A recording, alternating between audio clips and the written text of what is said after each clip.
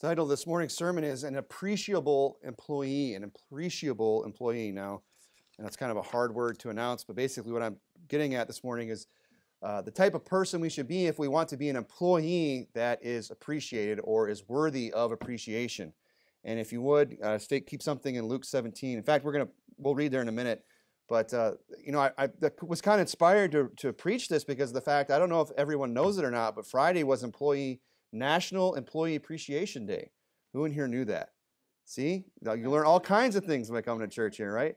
You didn't, I didn't know that until I went to look at the calendar about some other date, and I said, "What is that?" Oh, Employee Appreciation Day. Well, that warrants a sermon, right? And this does warrant a sermon because of the fact today that it seems like we've developed an attitude in this country that uh, you know employees are you know uh, I mean to have an employee appreciation day. My first thought is employees should just appreciate the fact that they have a job. I mean, I would be shocked if my boss came to me and just said, I'm just so glad you work for me, and I just want you to know how much. Now, my boss does appreciate how much I work for him and when I do a good job, and there are things, there's benefits and stuff like that.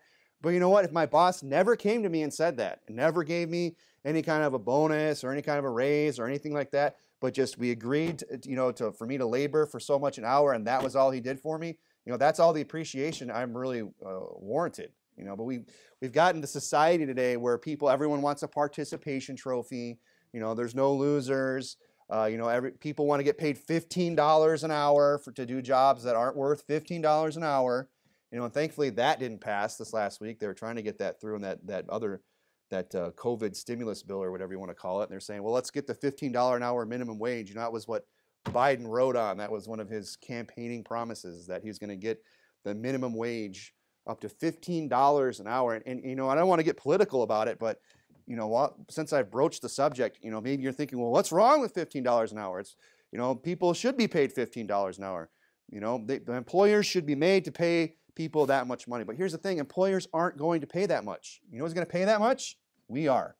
Because this is how business works, is business owners don't just eat costs and then not pass it on to the, on, on to the, uh, the, to the consumer. You know, they're going to say, oh, you want to pay him $15 an hour? Okay, well, the price of everything just went up.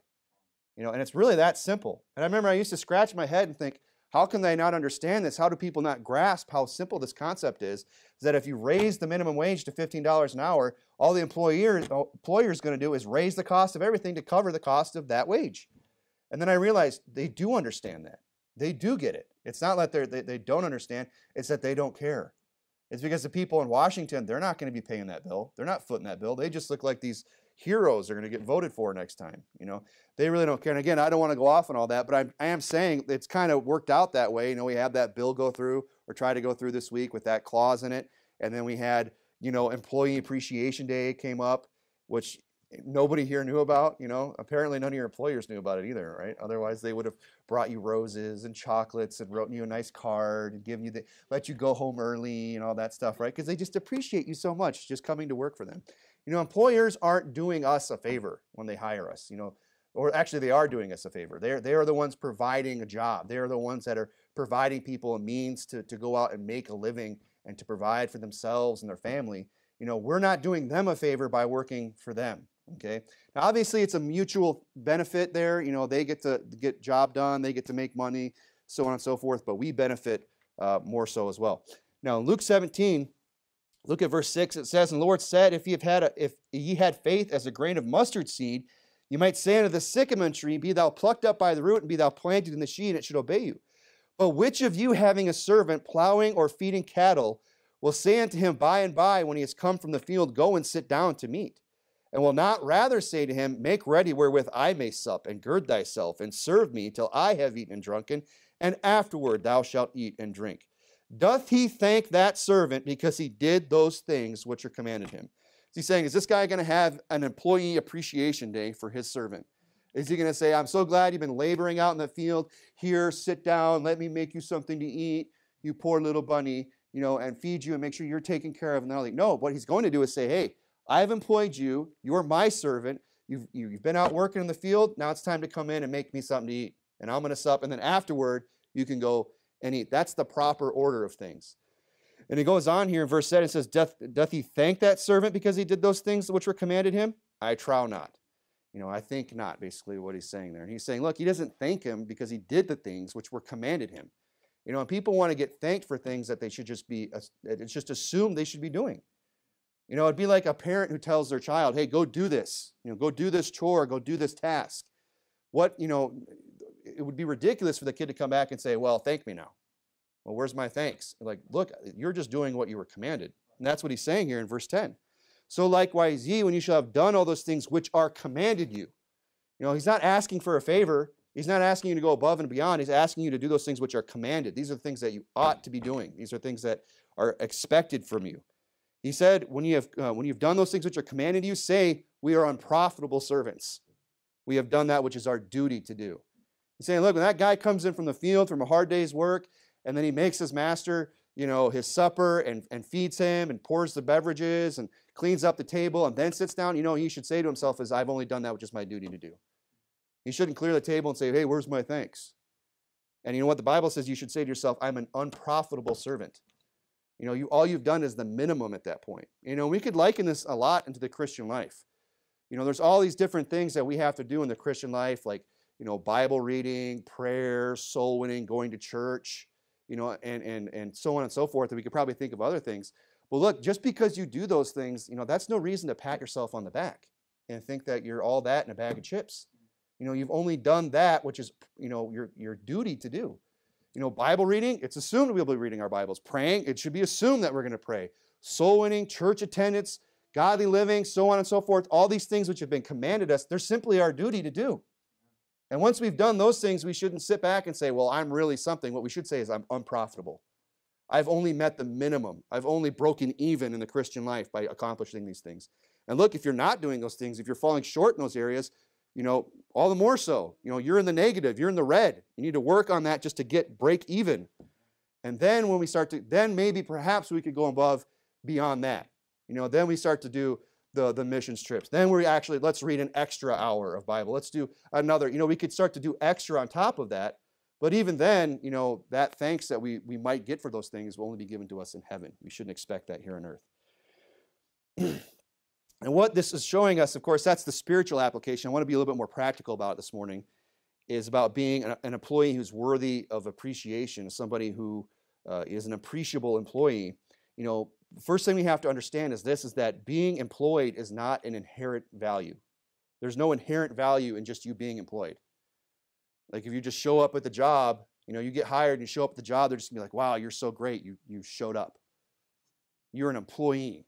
That doesn't mean anything you know, there's good employees and there's bad employees. And there's employees that, you know, kind of fall somewhere in the middle. and, uh, you know, that kind of going back to this whole minimum wage thing is that what, what these people need to understand is that some jobs aren't worth $15 an hour. $15 an hour to flip burgers is not a fair wage. You know, that's, that's excessive. You know, and, you know, people say, well, you don't know how hard it is. But here's the thing about that jobs like that are not are, are intended to be entry level jobs you know if you start out at 15 16 years old flipping burgers making i think the minimum wage in, in, in arizona is $11 one you're making a lot more than i made when i went and worked at mcdonald's i think i made like four something okay so you know minimum wage has already gone up it's not like it hasn't gone up already but look if you start out doing that as a, as a, as a young person you know and you're still doing that when you're 30 40 years old you know the, the wage is not the problem you know, there's, there's an another underlying problem there. It's the person. You know, those are the type of jobs that are jobs, you know, that have a lot of rollover. Then it's expected. You know, they're looking for the high school students to come in, fill that position, get some work experience, get some responsibility, put a little money in their pocket, and then move on with their life and get the next batch in there. You know, that's those are the those are what those types of jobs are. You know, they're they're not these high-paying jobs for a reason, because the, the, the job that's being done is not worth more than, you know, you know, 15 bucks an hour is excessive. Go to Proverbs chapter 10. Proverbs chapter 10. You know, so people have it in their minds today that if they just get a job, you know, if they just show up to go do some work, that, you know, that they're going to determine what they're worth, that they're going to determine, you know, that they're worth X amount of dollars. You know, but that's not who determines it. You know, the market determines that, the employer determines that. And here's the thing if people don't like the wage, they don't have to work. And if people don't like the wage, they can better themselves and get a job that's worth more because they're doing more. They're worth more, you know, uh, because of the work that they're performing. but people don't want that today. They just want to go get that easy job, you know, which has its difficulties, I'm sure. You know, I mean, it's, dealing with people at McDonald's is probably not always the funnest thing to do, or any fast food joint like that. Customer service has its difficulties, but it's not exactly rocket science. You know, to you know, do you want fries with that? Yes, no. What size? Well, what push button should I push to get you the drink? This isn't this isn't the most complicated task. now look at Proverbs chapter 10, verse 4. But a lot of people out there, they have that mentality. They think, oh no, you know, I, I'm I'm I'm worth much more. You know, and this is all I'm going to do. I'm just going to work this entry level job and then I'm going to demand to be paid more than I'm actually worth. You know, I saw a meme this week of of the people. It says $15 an hour, meet your replacement, and it was a literal robot. If That was you know they already have those lined up. You think McDonald's hasn't? McDonald's, I mean, a multi-billion-dollar corporation. I mean, you're talking about a corporation that like has changed the way we all eat food. Like all the major meat packers have all changed the way they do things. Farms for McDonald's. You know, that's that's a whole other sermon in itself. But they're the biggest consumers of beef in the world. You know, but anyway, you don't think a company like that, you know, hasn't already thought of well, what if they do increase it to fifteen dollars an hour? What are we going to do? Well, we really can't charge more for the you know the Big Mac. We've kind of we've kind of peaked. You know, they're just going to go to our competitors. Well, what about robots? You know, I mean, it's already and it's already an industrial system. I mean, that's what made McDonald's so revolutionary was the fact that you know they just started they just started the assembly line, right? They turned it into like Ford motor plants, but for burgers. One guy's just grilling onions all day. One guy's just throwing cheese on a burger. One guy's just grilling the meat. One guy's just toasting the buns. You know, I'm a ketchup guy. I'm a mustard guy. I'm the pickle dude. Whatever. You know, everyone had one role. That's all they did all day long, right? It's already industrialized. They've already you already essentially are a robot. You know, if you work there, you're already just kind of doing that. You know, here's the benefit of a robot. You know, the robot isn't going to complain. The robot's going to show up on time. The robot's not going to get sick. You know, the robot's not going to ask for more money or time off or anything like that. I'm surprised they haven't switched to robots. I mean, they've got kiosks everywhere now for ordering. I went and got those donuts this morning and I noticed, I'm like, man, you could just, you don't even have to talk to the teller. You can just walk up and doot, doot, doot, doot, and next thing you know, your donuts are there. But people today, they have this attitude that, you know, they're just by virtue of them having gotten a job, that they're worth more than they actually are. And because of that attitude, they're not willing to better themselves as an employee as an employee. They don't want to become a more appreciable employee. Look at Proverbs chapter 10 verse 4. It says, "He becometh poor that dealeth with a slack hand. He becometh poor that dealeth with a slack hand." And you think of a slack hand meaning like a lazy hand, like a weak hand. You know, you ever ask somebody to do something and they just kind of they just kind of do it kind of slack and it never turns out right. You know, mom says go clean the room. Then there, you know, there's there's like kid clean and then there's mom clean. You know what I mean? Mom mom has another stand. Mom has the right standard, by the way. Kid clean is just kind of like, oh, it's just there's the bed, just kind of there. It's clean, mom. And she goes, oh, really? What's all that? Yeah, you think you know all the tricks, right? You're the only one that's ever thought of that. I've tried that. What's this rolled up, crusty sock? You know, it's been sitting here for who knows how long. What's this moldy yogurt container? You know, or what are these wrappers and things like that, right? And that's what, but you know, if kids would go in there, you know, or any job, you can apply it to any situation. This is just the one that happens to be coming to mind, and not deal with the slack hand, you know, you wouldn't get that, you know, chewing out. You wouldn't have to go do it again. You would be done and could move on to whatever just like this, if the guy would not have a slack hand, but he would go out and he would work hard, he would not become poor. So, whose fault is it when people become poor? And look, I understand there's other extenuating circumstances sometimes that because people are oppressed, blah, blah, blah, whatever. But generally speaking, you know, people become poor or stay poor because they're lazy, because they don't want to do the next hardest thing. They don't want to go above and beyond. They don't want to, you know, they want to deal with the slack hand. It says that he that cometh poor that dealeth the slack hand, but the hand of the diligent maketh rich. The hand of the diligent, the person who's going to work hard, not have a slack hand, do a good job, First guy there, last guy to leave, the person who was diligent in their business. Now, it's interesting to point out too, and this will this will help you become a more appreciable employee. You know, if next year you want that employee appreciation day to come around and you want to see if maybe you can earn, you know, some appreciation from your boss, you know, listen up, okay? Because notice it says there, the hand of the diligent maketh rich. Does it say who it makes rich? No. It just says it makes rich, right? Meaning it makes the employer rich, you know. And that's that's something that will help a lot of people, I think, if they would go into their jobs with that mentality of saying, I'm not here to make me money, I'm here to make the company money. You know, that's that's always, you know, something I learned to do, and, and that's the attitude I've tried to have in, in my jobs to go there. In fact, before I got hired here, when I was being interviewed, I said, Hey, I understand that I'm here to make you money. And if I make this company money, then I will make money in the long run too.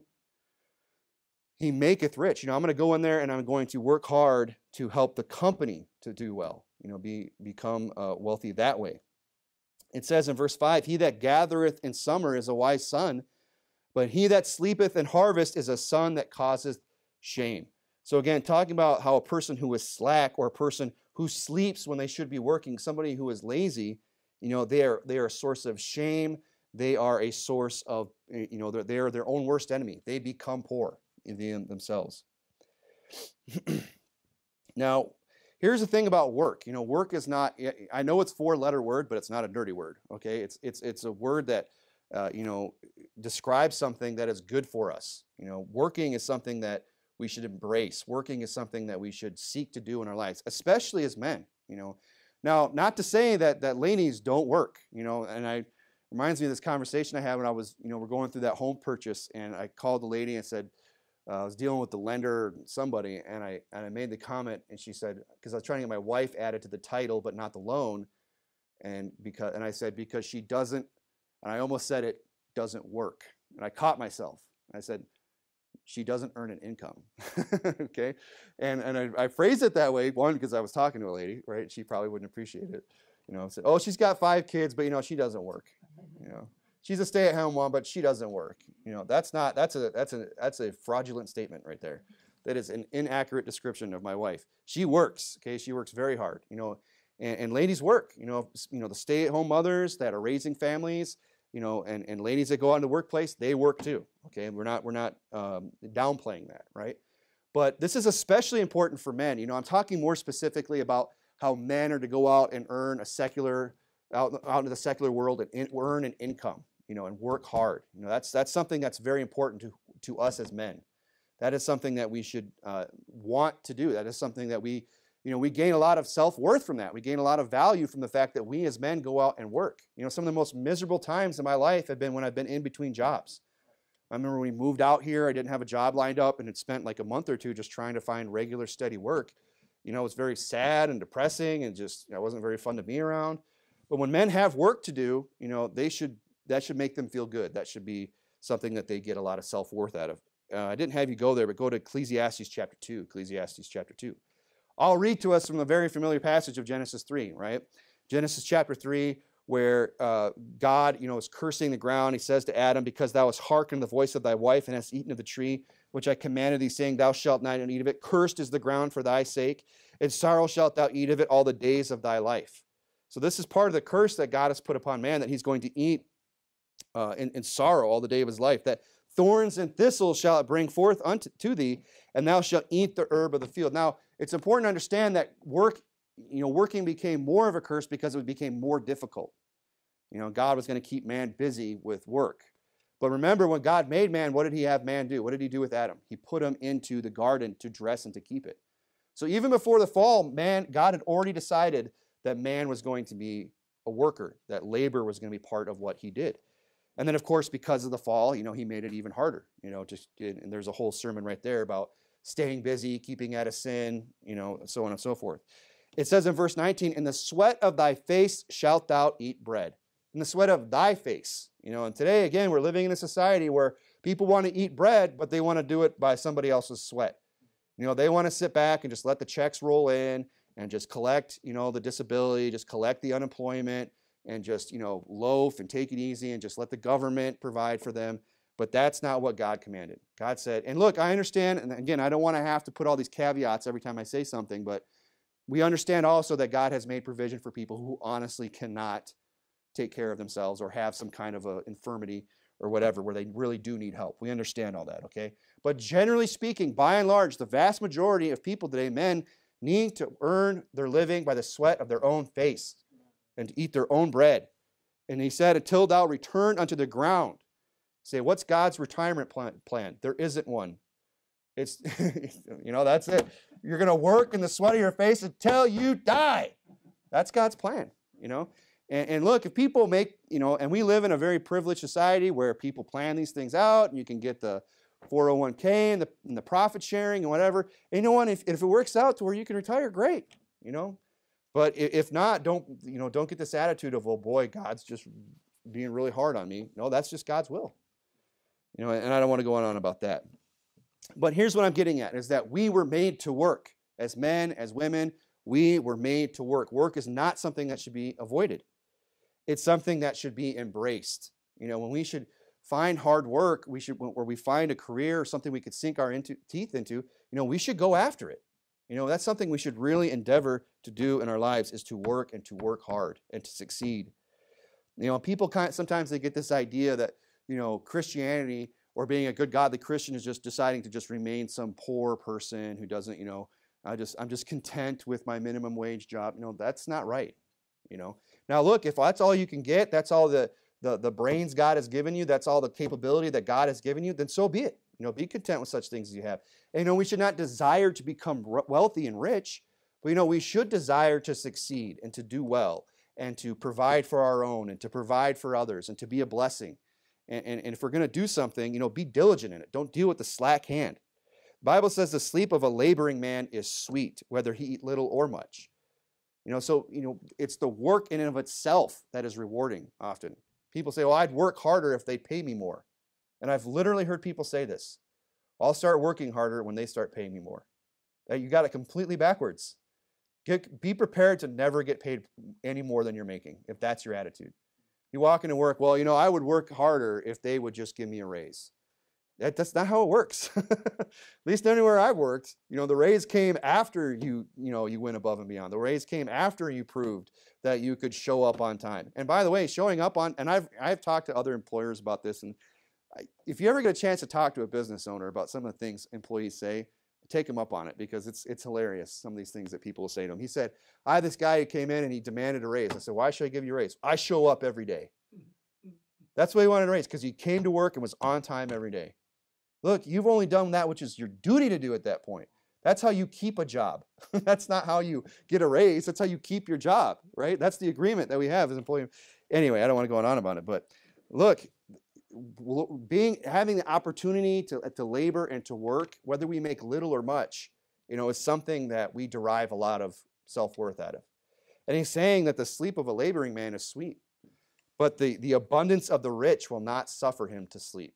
You know, the guy that just everything came easy, you know, didn't have to work for any of it. You know, maybe he got some kind of big inheritance or he's just, you know, some trust fund or whatever. And look, if that's somebody in the room, it would come as a shock to me. But, you know, if, if that's you, you know, you can have all those things and still work.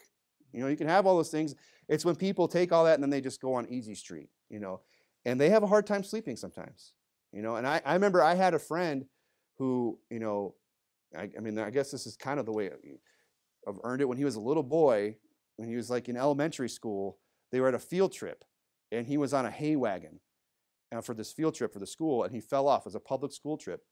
He fell off, and the wagon rolled over his head, and like one of his eyeballs popped out. I remember they had to put it all back together, and they ended up suing the school and they and the school system, and they said and they and the judge determined, yeah, you're going to get a payout. I don't remember how much it was, but I was around. He said, but you're not going to get it till you turn 18 which is like one of the worst times in life to ever come into money. When you haven't, you know, you really haven't learned what hard work is, you really haven't, you're just beginning to learn what it takes to be an adult. And then all of a sudden someone's just like, here's $35,000. Here's a year's, here's a year's wages. And there's nothing wrong with the guy. I mean, most, mostly. he wasn't, he wasn't, you know, he, he didn't, he, it's not like he, he was, he was a, a smart enough to go out and work. In fact, he did have a job. But once that money started rolling in, man, he just he was up partying all night, just you know doing all kinds of things he shouldn't have been doing. People are you know you get you get a lot of friends real fast too when that kind of thing takes place. You know friends. But look, we should work and we should labor and whatever we're going to make whatever we get we should at least take value and take uh, from, from the fact that we are working you know and, and it's going to help us to sleep look at ecclesiastes chapter 2 verse 24 he said there is nothing better for a man ecclesiastes 2 verse 24 there is nothing better for a man than that he should eat and drink amen right and that he should make his soul to enjoy good in his labor this I also saw that it was from the hand of God. Saying, you know what the best things it is for a man is to is to eat and drink and to enjoy the fruit of his labor. You know, there's nothing wrong with enjoying the eating and the drinking. Those are gifts from God. There's no nothing wrong with enjoying the wife of thy youth, the Bible says, as long as you've earned it. You know, as long as it is labor of your hands. You know, but if we're going to be these people that just want everything to just come to us, not have to put any forth any effort, get paid more than we're actually worth, or just be on the take, you know, be on the dole, you know, you know, the laboring or excuse me, the eating and the drinking is not something you should enjoy, the Bible says. But we should enjoy it if we're going to work for it. Go to Proverbs chapter 15. Proverbs chapter 15. Look, we were made to work. People say, oh, "I want to be appreciated as employee."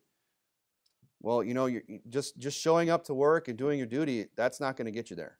You know, one, we were made to work. You're just doing that which is your duty to do. God has commanded that we should work. But look at Proverbs 15, verse 19. It says, The way of the slothful man is in a hedge of thorns, but the way of the righteous is made plain. The way of the slothful man is as an hedge of thorns. Does that mean that the slothful guy, it's just, just life's just stacked against him? The deck's just stacked against him. It's a hedge of thorns. I can't, you know, the righteous guy, it's made plain. He's just, everything's just cleared out of the way for him. Is that what it's saying? No, I don't believe that's what it's saying. What it's saying is that this is a matter of perspective. You know, the way of the slothful man is as an hedge of thorns. It doesn't say it is at the hedge of thorns. It's like one. To him, to him, he looks at life and he looks at what the responsibilities that have been laid upon him. He looks at the jobs and, and everything else and everything that's kind of expected and says, well, that's a hedge of thorns. I can't do it. And then the excuses start to come, right? The other proverb of, uh, he says, you know, there is a lion in the streets, I shall surely be slain. You know, I can't go out and work. There's a, there's a lion in the streets. I mean, that's a ridiculous excuse.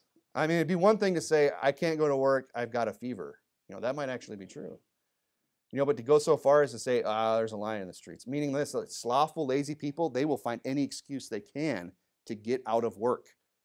There's a lion in the streets. Yet everybody else made it to work that day, you know, and didn't end up getting slain.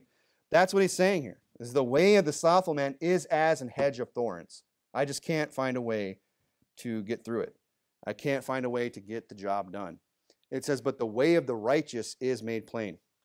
So again, notice here, but I want to point out is the fact that the, there, there's two people being contrasted here, right? It's the slothful man and the what? The righteous man. It's not the slothful man and just the diligent man. It's not the slothful man and just, you know, uh, the hard worker. It's the slothful man and the righteous man. Meaning this, that if, you know, working and working hard is, a, is something that righteous people do. Meaning this, that being lazy and being slothful is unholy, it's unrighteous. It's not something that should describe God's children. We should be hard workers. That's the opposite of slothfulness right there in Scripture, is being, uh, the opposite of slothfulness is, is righteousness. When what is showing us here is that godly people, God's people should work to get things done. Their way should be made plain. They should not be people who make excuses, who can't find a way. They should say, hey, this job is tough, it's difficult, but we're going to get it done. You know, and, and, and that you could apply that in your own personal life, you know, with your job or whatever duties are placed upon you. But, you know, we, we need to have this attitude as a church.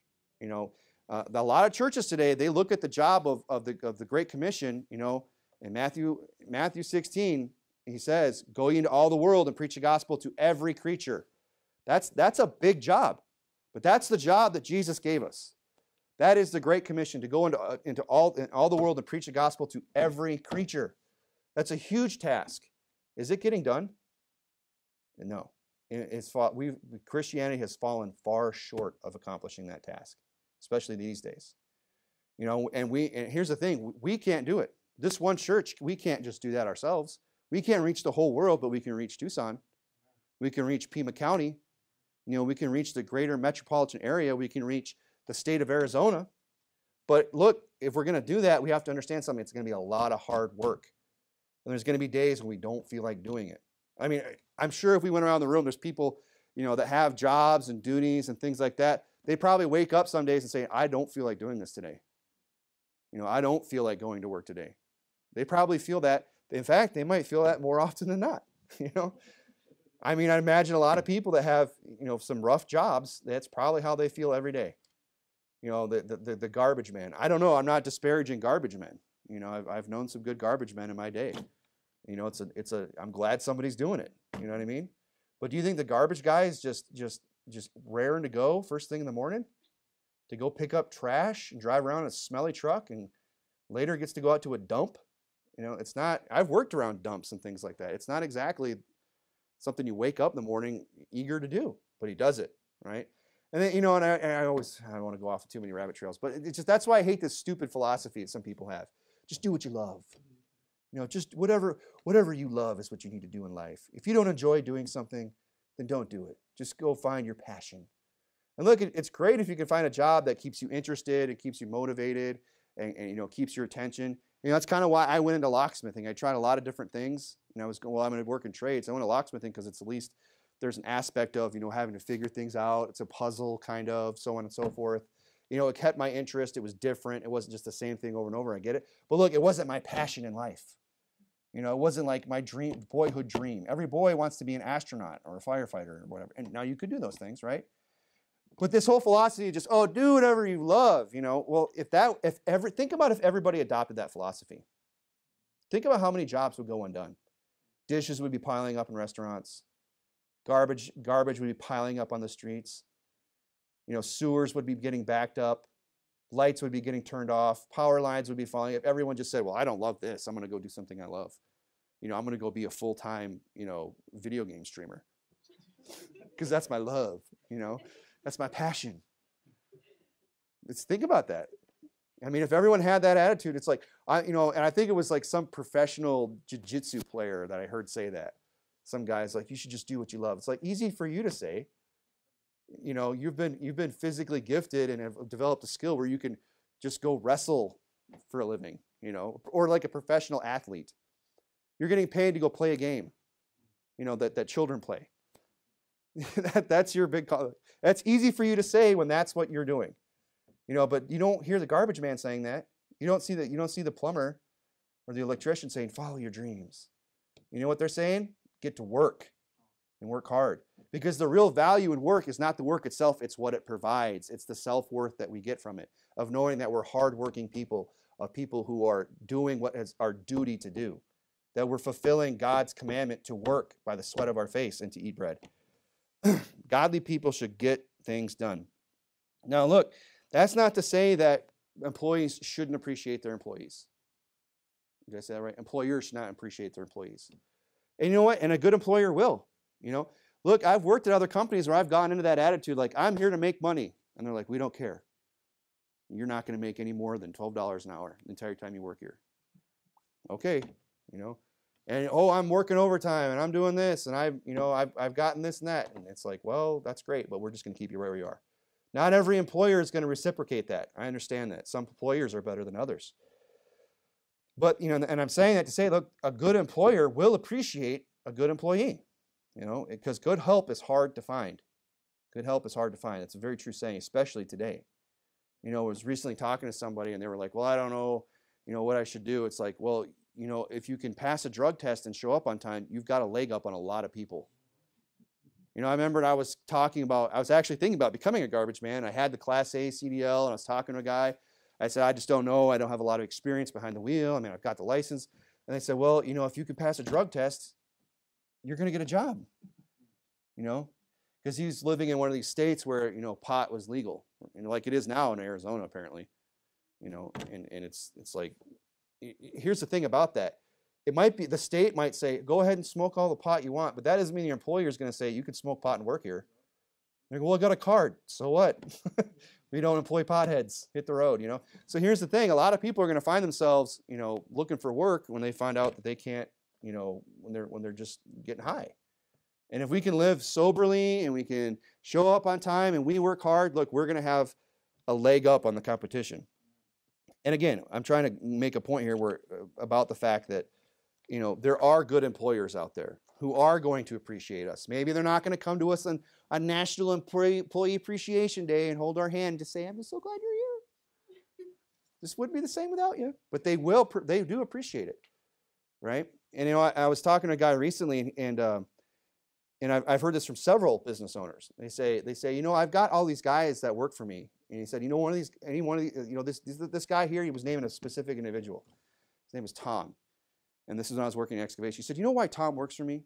I said, you know why, how I keep Tom? I said, no. He says, because I'll tell me something about Tom. Tom could go out tomorrow and buy a backhoe and a, in a, in a dump truck and could be my competitor tomorrow. He's been doing it long enough. He's a foreman. He's been, he's, he's seen more dirt or he's forgotten about more dirt than you've seen, is what they always said, right? And he said, he could go do that tomorrow. How do you think I keep him here? I said, I don't know, you know, because I was this naive young man who didn't understand how the world worked, apparently. He's doing, he just went like that. This is how I keep him right here. I would, I pay him enough to where he doesn't go out and become my competition. What is that? That's an employer who appreciates his employee. He appreciates the fact that he's not going to compete against them, right? He appreciates that he's a he's a good enough employee uh, employee to, to that's worth. Hey, let me pay you more. Company truck, benefits, time off. You know, whatever I need to do to keep you here, right? And look, that doesn't just come to anybody. Don't don't go on McDonald's and walk in like, hey, I could end up working at Burger King tomorrow. They're gonna be like, go ahead, because there's a line out the door. We can replace you with a robot, right? But when you get into like a skilled trade, when you get into something that not everybody, not just anybody can do, you know, that's when you start to have a little bit more I don't know if leverage is the right word, but in a sense, you have a little bit more leverage with that employer. They appreciate you a little bit more because they know they can't just fill that spot tomorrow. That it's going, you know, if you if you leave, it's going to be it might be difficult to replace you. Which what I'm getting at is this: is that there are good employers out there, and they do show appreciation. You know, and often it, it comes in the form of promotions, right? Often, you know, people get promoted within a company, they get raises, and so on and so forth. Go over to Genesis 37. Keep something in Proverbs. Go to Genesis 37. The Bible says in Proverbs 12, the hand of the diligent shall bear rule, but the slothful shall be under tribute. So who's the one that's going to bear rule? Is the diligent, right? The one who is diligent, the one who works hard, is the one that's going to bear rule. You know, and, and I, we could apply this in the, an employee in, in, in a job setting. Look, the guy who shows up and works hard and doesn't cut corners, and is diligent is the guy that's going to get the promotion. That's going to be the guy who is going to be the manager one day. You know, he might come in, he might be the he might be the new guy, and he might not have the the seniority that all you know, but not every shop's a union shop. You know, he might not have been around and have the tenure that some of these other guys have. But look, if he outworks them, if he has a better attitude than them, he's going to be the one that's going to be in charge one day. And the, and the slothful, the sluggard, is going to be the one that's under tribute. The soul of the sluggard desireth and hath nothing, but the soul of the diligent shall be made fat. Look, if you work hard, it is going to be appreciated.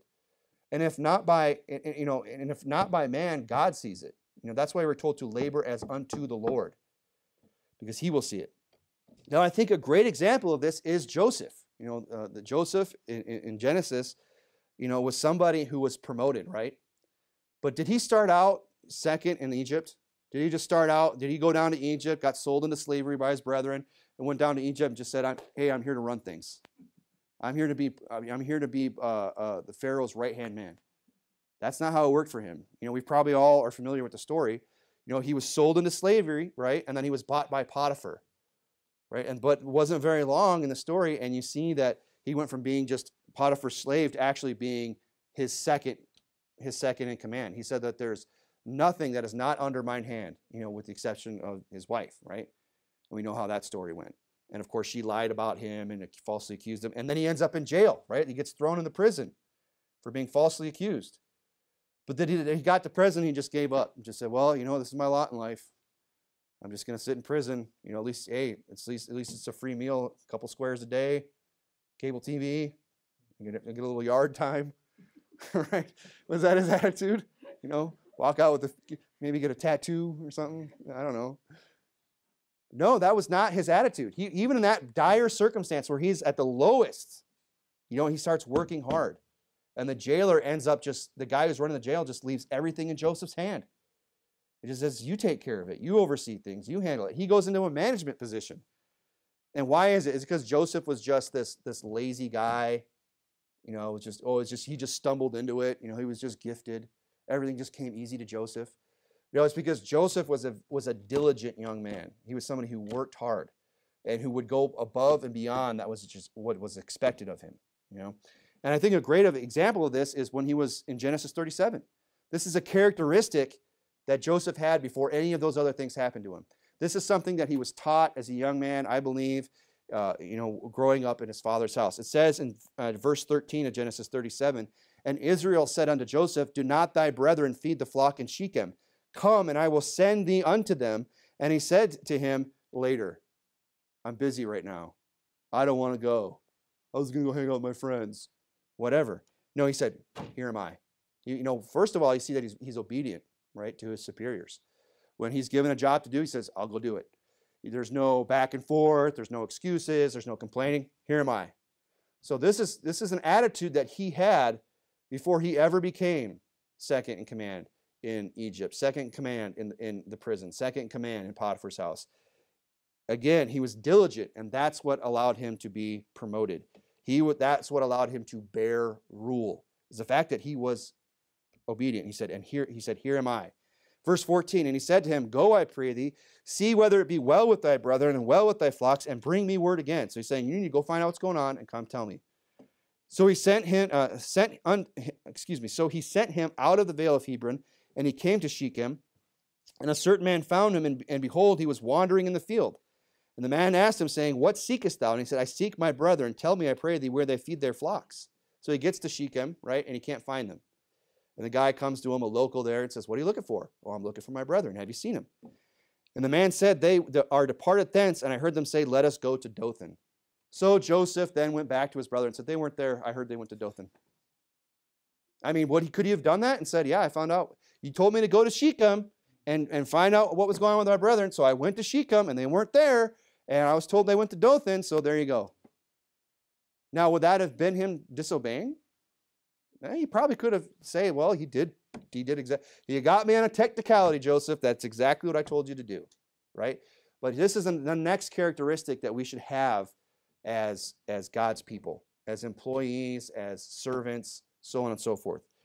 And it says, and Joseph went after his brethren and found them in Dothan. You know, he was like, oh, well, he didn't, well, he didn't say, well, my dad only told me to go to Shechem. He didn't say to go to Dothan. So he went, but he went to Dothan. What is he doing here? He's being diligent, right? He's going above and beyond. He's following through. He's getting the job done. He's not just looking for an excuse and then quitting halfway through. He's going all the way with it. Do we see that there? So again, this is why Joseph became ruler. This is why Joseph, I believe, you know, was promoted over time because he was obedient and also because of the fact that he was diligent. He didn't just look for an excuse to quit or just do things halfway. He went all the way with it. And the other thing is that, you know, Joseph didn't just get that overnight. The promotions that he got, they came over time. You know, it takes time to develop certain skills and time to become worth more than you are. You know, people walk into a job and they think, well, I've been here six months, been here a year. Why aren't I running things? you know, why aren't I the boss yet? It's like, well, because you haven't been doing it, you know, longer. You need to do it longer and put in more time and learn more and gain more skills. That's why it says in Proverbs 20, 22, go to Nehemiah, Nehemiah chapter 1. It says in Proverbs 22, Seest thou a man diligent in his business? He shall stand before kings. He shall not stand before mean men. That's like the perfect picture of Joseph. He was the man that was diligent in his business, and what did he end up doing? Standing before a king. He did not stand before mean men. I don't believe it means mean like, like angry men. It's talking about men that are not as highly exalted. They're more in the middle, the mean, the median. They're, they're mean men, mid-level. Maybe I'm wrong about that. I don't know, but that's how I always read it. That's what I believe he's saying. Look, they're going to be promoted above their peers. They're going to be promoted. They're going to bear rule if they're diligent. If they're diligent. So how are you going to how are you going to come around next year and get that employee appreciation day, right? Well, you know, one, you have to understand that work is something that we're just supposed to do. And don't, don't just expect it just because you showed up that you get deserve a pat on the back. You have to go above beyond what is your duty to do if you want to get promoted, if you want to have uh, you know that, that that extra appreciation, you know, to be appreciated by an employer. And you know that means you're going to have to be diligent, and you're going to have to be obedient, and you're going to have to work hard. And you say, "Well, that sounds hard. I don't know about that." Well, you know, that's life, and that's the way it is. And there's nothing you can do to change it. So you might as well just have a good attitude about it. And that's my next point. Have a good attitude when you go to work. Have a good attitude when you do what you're told to do. Don't just, you know, it's one thing to do it, it's one thing to do it, you know, with a bad attitude. It, it, you know, if, if I came down to two guys, if I were running a business and said, boy, they both work really hard, they both do everything I told them, but this one just always has an attitude about it. Every time he shows up, it's just, oh, I guess what I have to. You know, he gets the job done, but he does. There's a lot of grumbling and complaining. You know, who do you think I'm going to want around me? If I'm interviewing a couple guys and it seems like, and you know, I'm calling their references, and one guy's saying, yeah, they both show up on time, they both work really hard, you know, but this guy over here, you know, sometimes has a bad attitude, doesn't get a lot, doesn't play well with others. You know, it wasn't a lot of fun to be around. You know, wasn't wasn't uh, very pleasant. And I had to choose between other guys. Yeah, he's always had a great attitude, can-do attitude. Was always happy to be there, smile on his face. And look, even when he doesn't had anything to smile about, because some people think, oh, I'll have a good attitude when everything's going great for me. That's, that's not how it works. You know, your boss is not interested in, in how you're, in what kind of a week you're having. They don't care. I know, I'm sure if they had any control over it, they would love for you to have a great week. But you know what? They're having a hard time too. You know, they get sick too. You know, employers are not interested in your feelings. This is just reality. They're there to get a job done. That's all they care about. And if it comes down to a guy who has a good attitude and has a guy who has a bad attitude, they're going to go with the guy with the good attitude. I mean, why wouldn't you? So it's not enough to just be working hard and be diligent, you know, and, and just, I'm diligent, pay me more. You know, it's, it's, you know, you have to have a good attitude. Nehemiah chapter 1, in verse 1, it says, And it came to pass in the month Nisan, in the 20th years of Artaxerxes, the king, that wine was before him, and I took up the wine and gave it unto the king. So here's Nehemiah, who obviously we can assume a few things from just from this passage. I mean, if you're the one who is the king's cupbearer, if you're pouring wine and beverage unto the king, you've been promoted. That wasn't one, that's a position of trust. You know, how do you know you're not gonna he's not gonna get paid off by the enemy to just slip some poison in there or something like that? You know, you're being you're in the king's court, you're around him, you know, the king doesn't want to be surrounded by a bunch of, you know, sad faces. He doesn't want a bunch of, you know, people moping around. Okay. So you can assume a, few, a few things about, about him, about Nehemiah, that he's diligent, that he's hardworking, he's obedient, and that he has a good attitude. In fact, that's what he says here. He says he gave unto the king. Now I had not before time, uh, I had not been before time sad in his presence. Did he say I've never been sad? Up until this point, I had never had a bad day in my life. The entire time I've worked for the king, I just everything has just been perfect. I've never had a bad day. No, he said I had never been sad in his presence. Meaning when he went to work that day to pour to be the cupbearer, that no matter what was going on, he went, hmm, I'm here to do my job. You know, I stepped on a tack on the way here, I got a flat tire, or, you know, I had an argument with my wife before I left. I don't know I'm going to pay the bills. My kids are running amok, you know, but I'm here. You know, whatever excuse, whatever bad things were going on in his life, he left them at the door. And he went into work and he had a and, and put a smile on his face. Like they like I, what was this saying? I don't know if it's a military thing, but they'll they'll they'll correct you on it. Fix your face, they'll say. Fix your face. I don't know if that's a phrase I've heard before. You know, because you can't you can't have that kind of bad attitude. You know, especially if you're dealing with customers. You know, and and and I mean, I I know people that have had customers call their boss and say, "Hey, your guy did a good job, but he kind of did it with an attitude. like, I don't know what's going on with him, but you might want to check him on that, you know. But he had a good attitude, and you could tell because this is the first time that he was sad in his presence, and it, you could tell it's bothering him. He's like, "Man, I was worried." Wherefore the king said unto me, you know, the king notices. You know, people notice your attitude all the time. Why is thy countenance sad, seeing thou art not sick? What's your excuse? You know, did you eat some bad pizza last night? What's the matter? This is nothing else but sorrow of heart. And he says, Then I was very sore afraid because he knew that you don't come into the king's presence with a bad attitude. And then if you don't have a good excuse, you know, it could be trouble for you. Because look, the king doesn't want people with bad attitudes around him. That's not who's going to work for. Work for him. He's going to say, next, get that other guy who will appreciate the job more, who will come in and learn how to just at least appreciate the fact that he has somewhere to go to work and appreciate the position that he's been given. He said, Then I was very sore afraid and said unto the king, Let the king live forever. Why, why should not my countenance be sad when the city, the place of my father's sepulchres lieth waste, the gates thereof are consumed with fire? So I guess if that's the case with you, maybe you've got an excuse to be sad one day. Maybe you've got an excuse to go in with a bad attitude. You know, when uh, you know the city, the place of your fathers, their sepulchres have just been desecrated. All right, but I don't think that's ever been the case with any of us. All right, so this is kind of an exceptional set of circumstances here for Nehemiah. You know, th- this is what it took to bring Nehemiah down. I mean, it had to, you know, an entire city had to be destroyed. Jerusalem had to be, you know, brought to rubble. And, and his father's graves had to just be desecrated before he was going to get a sad face in the presence of his employer. You know, not just, I had a fight with my girlfriend, you know, or I, lost, I didn't get the high score in the video game, or I stayed up too late, you know, or whatever. I got a hangover. You know, that should never be said of God's children, right? But look, people come up with all kinds of stupid excuses why they don't have a good attitude at work, and none of them are good. and here's the next thing, you know, you have a good attitude, but here's here's the other thing you need to do if you want to succeed as an employer. You want to be an appreciable employee. Be a company man. Be a company man. Now, people don't like to hear that. You know, and guys who are not company men, they don't like to hear that.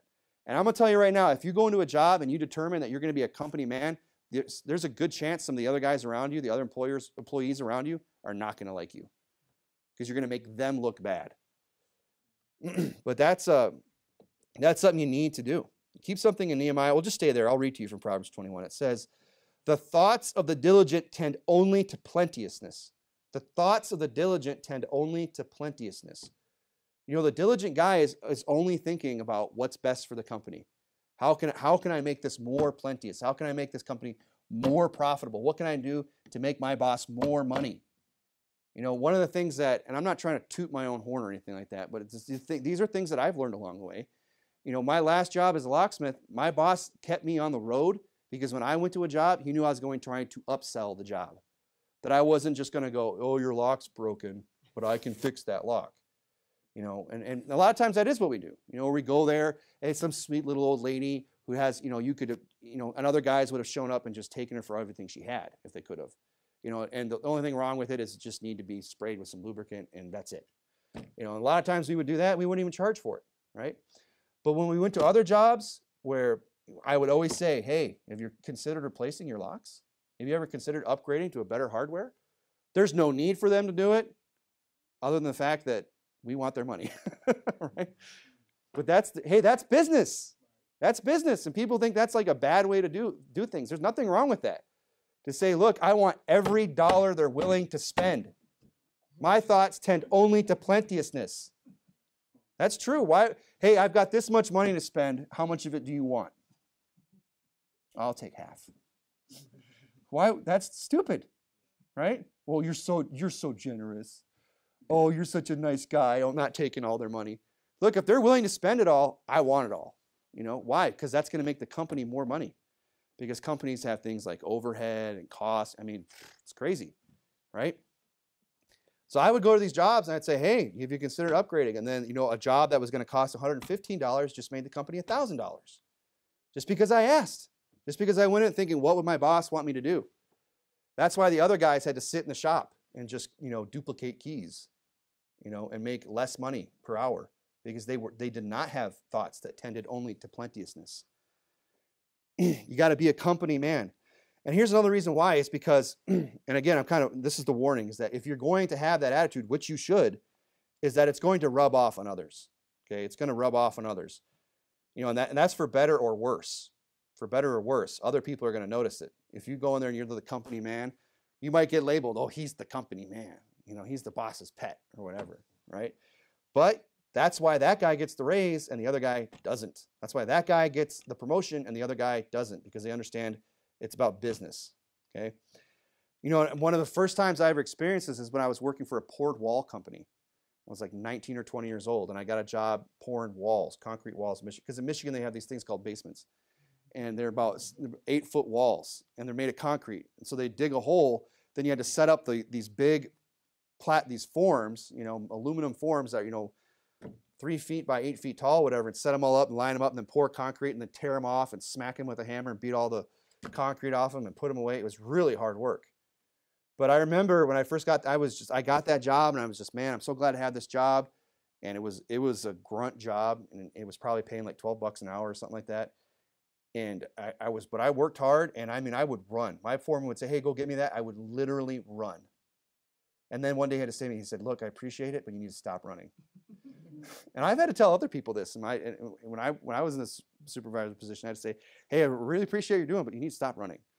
Why? Because you're going to fall and, and fall on a piece of rebar, and then we're going to have to call you know an emergency room, or get get you whatever. It could be dangerous, right? I appreciate the pace. You know, keep a good pace. I'm glad you're not a slug, but you don't need to run full speed to go get a hammer from the truck or whatever, right? But you know what did happen because of that? I quit running. You know, I didn't. I didn't. I mean, he asked me to quit running. I quit running.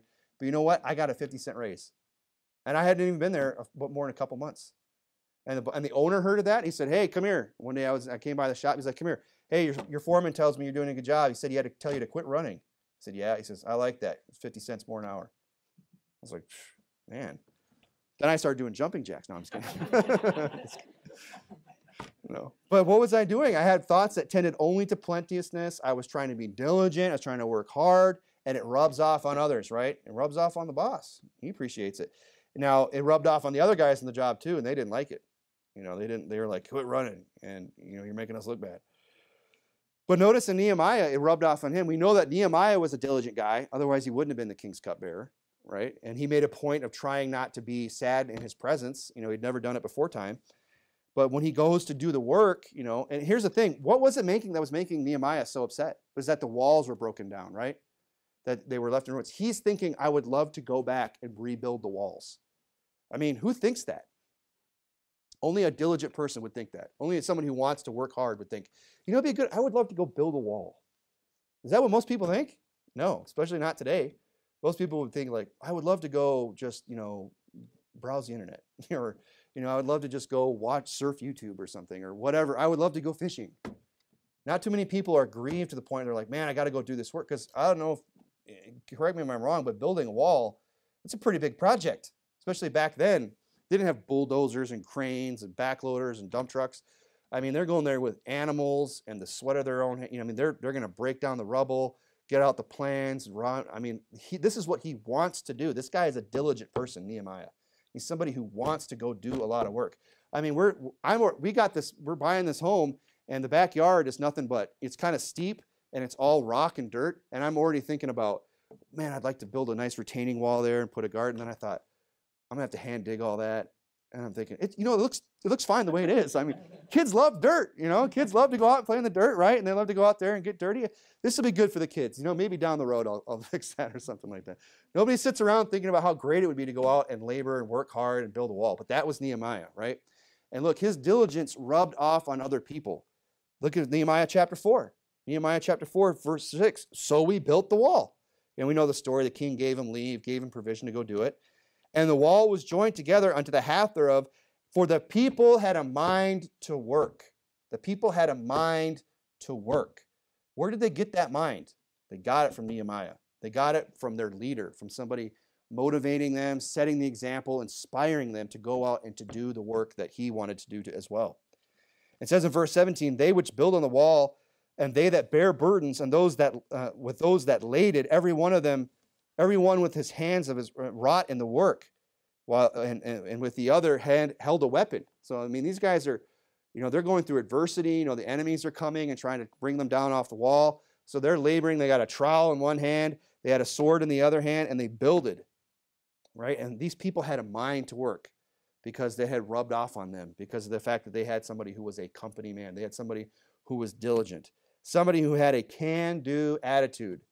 That's the kind of attitude we need to have. I'm going to wrap up here in a second, but if you would, if you kept something in Proverbs, go back to Proverbs chapter 12. You need to have a can do attitude.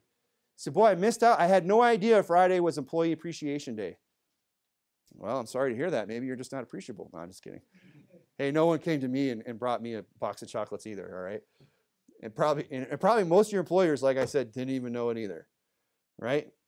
But look, if you do want that promotion, if you do want that raise, if you do want to be somebody where if let's say you have to part company with that with that job someday, they instead of them saying good riddance, you know, and I've heard that. I've heard I've heard employers say, "Boy, I'm glad he's gone." Guy quit, put in his two weeks, and left. He said, "Glad that's over with." But then I've, I, you know, they, but if you don't want to hear that, have that said about you, you know, rather have it said that when you leave, the boss says to you, "Hey, if it doesn't work out, you come on back."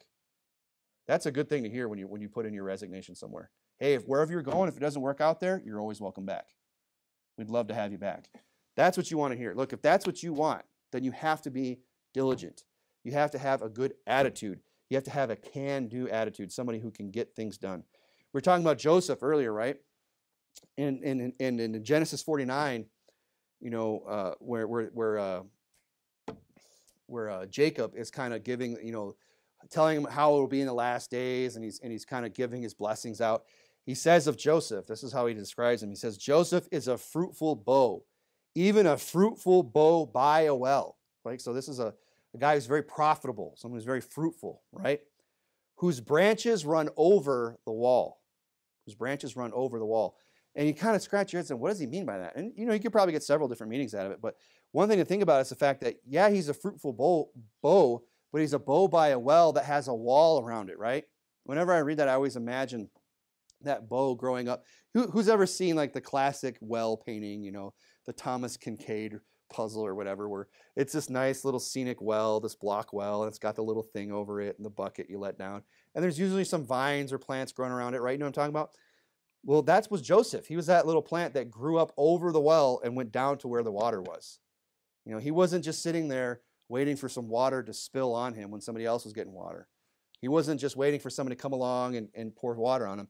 He went above and beyond. He was that bough that went over the wall and found the water. You see what he's saying there? He is a fruitful bough by a well whose branches run over the wall. That's what I believe is going on here, that he's going to where the water is. What's going to make him profitable? What's going to make him a better, you know, bough in this case, or better, make him fruitful, right?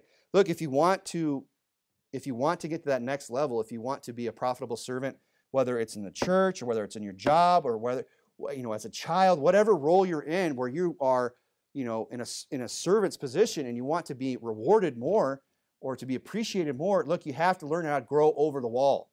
You can't be like the slothful man that says it's a way of thorns. You can't have the excuse of, well, this is too hard. You got to you got to grow over that. You got to get over it because that's where the, the nutrition, the sustenance you need is, you know, sometimes you have to go through hard things to get to it. I think that's what's going on here. And, and here's, here's, you know, more practically speaking, is that to have that kind of an attitude, to be like that bough that grows over the wall, you know, you, you have to have solutions, not just problems. You can't just come up against the wall and be like, it's too hard. Or, hey, boss, I don't, I don't know what to do. You know, and, and there's nothing wrong with not knowing what to do just because you're inexperienced. Like, I mean, when I when I was first started locksmithing, I knew nothing. And there was one foreman, you know, we a lot of times what I heard was call Frank, call Frank, call Frank. And what you did was, and Frank would say, just call me, just call me, just call me. Is you ran into something, because Frank's been around a long time, and Frank would know what the solution is, right? But you know, that's there's a time and place for that. But if that's all you ever are, you never grow past that point where they start telling you the same thing. Like, yeah, well, that's the same thing I told you last time. Don't you remember that? Where you can't get the solution memorized or whatever. That's when it becomes a problem. But look, if you want, you have a can-do attitude. One of the things you need to do is this: is you need to have solutions, not just problems. You know, some of the best advice I ever heard was that if you're an employer or employee and you come into a problem and you have to go to the boss, don't just come with the problem to say, hey, here's the problem, and I was thinking about doing this. And this is the solution I was thinking of. You know, and they might say, hey, that's a good idea, but don't do that, and here's why. You know what I mean? But if you're just like, here's the problem, I can't figure it out. Well, have you even tried? Have you even tried to figure out what, what a possible solution might be? No. Well, you know, that's not a can-do attitude, and that's not going to take you very far. You know, when the other guy comes, say, hey, here's the problem, I don't know what to do, but I was thinking about doing this and doing this and trying this. At least they'll say, well, even if none of those answers are right, they'll say, but at least he's trying. At least the guy has, you know, has a mind to work. At least the guy wants to figure out and is trying to come up with a solution. Or better yet, yeah, that is exactly what you should do. You should just trusted your gut and gone with it.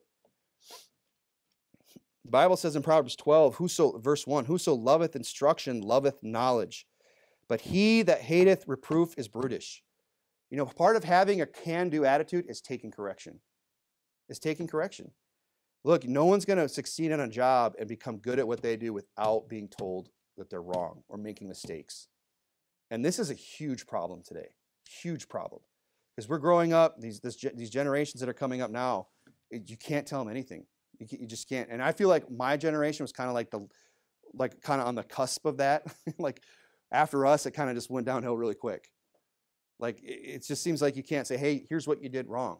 You know, I remember I had a boss once, and he's made that point about this guy. He said, I, I would, I, I, you know, he's doing this and that, and but whenever I tell him, he just looks at me like he's a, like a, like a kicked puppy. You know, like someone ran his dog over. It's like I'm just telling you what you did wrong. You know, and that's something you need to, we all need to learn if we're going to succeed. That's part of having a can-do attitude is, is, is being able to be told when you're wrong, when you've made a mistake, and to accept correction. And uh, you know, this is something that I remember when I when I got a job working for my pastor in Michigan, you know, he probably should have fired me like six times at least, you know, because I was terrible. I make some stupid mistakes and had a bad attitude. But he, he you know what he kept me around for? Is he said, because you, you, you took the correction. You know, finally I would, I would say, Corbin, get off my job site. Go home. And I'd say, okay, Corbin, come back here. Did you see what you did wrong? Yeah. Do you see how that made me upset? Yes. Are you going to stop doing that? Uh huh. Okay. Let's go back to work right? Not just, I didn't do anything wrong. How dare you? Don't you know? You know what I mean? People get this attitude where they cannot take correction and they're not going to go far at all. And you can't be this touchy feely snowflake if you're going to succeed in, in, in the man's world. You know, that's, and that's, that's the truth. If you're going to go out there and work hard and, and, and succeed on the job, employers are going to come to you and say, you did this wrong. You need to make it right. And if we, if we if we have a poor attitude, you know, it could be the door for us. Or at least we're just never going to go above where we're at. Whoso loveth instruction loveth knowledge, but he that hateth reproof is brutish. See how those two go together? Loving instruction means you love knowledge. When someone comes to say, hey, you did something wrong, you messed up, you made a mistake. Well, really? Tell me what I did wrong so I can learn. Instruct me. That's all correction is, is instruction. It's not just, oh, here's my chance to just make them feel terrible. You know, here's my chance to just, you know, put them down. No, it's here, here's my chance to instruct. Here's my chance to teach. And if we love instruction, we will love knowledge. But he that hateth reproof, do you see how reproof is the opposite there? How reproof and, and, and instruction are correlated? It says he's brutish. He's stupid, right? He's not going to learn anything. Proverbs 15. Go over to Proverbs 17. I'll wrap up. Proverbs 15. A fool despiseth his father's instruction, but he that regardeth reproof is prudent. Again, instruction and reproof are the same thing. They're the same thing. And look, one of the one of the things you have to understand if you're going to succeed at anything, whether it's a job, whatever, is that I was just ahead of my tongue. You have to be able to take correction well, and you have to be, you have to, you have to be teachable. That's what I'm trying to say. You have to be one who can receive instruction. You have to be teachable right? Why am I going to invest as an employer in a guy and try to get them to succeed and get to the next level if they can't learn anything? If it's just like talking to a wall. That guy is going to be okay, that's fine, but you know what? He has a pulse. You know, he knows how to operate a shovel. Leave him there. You know, because I and I've tried, you know, I try to teach him how to do this and that, how to run the grade stick or drive a stake or run a piece of machinery, but it just it just doesn't he doesn't get through to him. You know, so he's just always going to be this guy, right? But if you're teachable, if you can receive instruction, that's the guy that they're, oh, this guy gets it. When we tell him something, you know, he gets it, he uses it, he puts it into practice. Let's tell him more. Makes him more valuable, more valuable, more valuable. And then the next thing you know, he's bearing rule. You know, he's been promoted. But notice again, it's a fool despiseth his father's instruction, but he that regardeth reproof is wise. Often that instruction comes in the form of what? Reproof. Here's what you did wrong. Fix it, right? You're in Proverbs 17, look at verse 10. It says, A reproof entereth more into a wise man than an hundred stripes into a fool. Look, wise people who love instruction, who want to succeed, they will reproof will enter into them. Instruction, they what, what is he talking about being here? They will be teachable. They're people that can be instructed. Because again, instruction comes in the form of reproof so often. That's why people who can't learn either just stay where they're at or they get let go. You know, and, and one thing I was told when I started working, you know, early on was you need, you know, you need to be the guy that when times get tough is not going to get let go. You know, because there's a lot of people where it's just like, hey, economy's good. If you got a pulse, we'll hire you. You know, and you can come in and we'll put you to work. But when times get tough, when economy gets lean, and they have, and the companies have to start tightening up the belt, they start they sit down and they go, who are we going to keep? And who are we going to let go? Well, we got one guy here, man, he, he, he's got a can-do attitude. You know, he learns, he loves instruction, he can accept correction, he's teachable. Well, let's keep him. Rather than, you know, than the guy that's just like, well, he shows up, you know, he's got kind of a bad attitude and he'll do it, but you know, we're always after him about the same things. And it seems like, well, that's the guy that's going to get let go when times get tough.